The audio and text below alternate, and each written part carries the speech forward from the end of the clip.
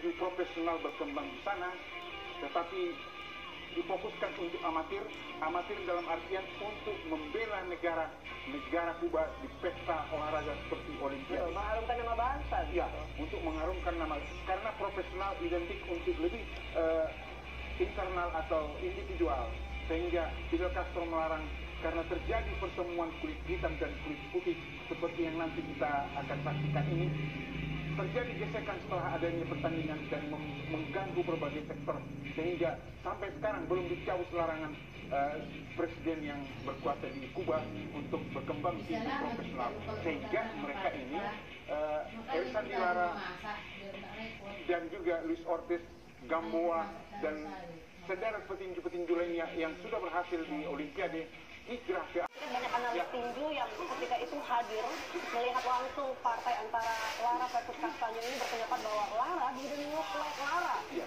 Apakah ini karena 11 bulan ia Iya. tidak bertanding atau karena dia masih trauma eh, ketika terakhir harus menelan sakit pahitnya kekalahan ketika daripada Gerard Hart? Ya, betul sekali Loni dan acara kita ini tentu sangat menarik. Bukan hanya di arena ini yang banyak pengamat Loni, tetapi seluruh Indonesia sekarang banyak sahabat-sahabat kita yang menyapa kita, banyak memberikan respon untuk eh, fight yang kita tampilkan ini dari seluruh Indonesia. Banyak mereka memberikan komentar. Ada James Humbang Gaul dari Humbang Asundutan, Rudi, Rudi Togatorong, kita sapa mereka semuanya. Ada Kurniawan di Medan dan Hamdani Tomagola juga di Sulawesi, di Bali dan seluruh sahabat-sahabat kita yang semuanya tidak bisa kita sebutkan memberikan respon, memberikan pengamatannya.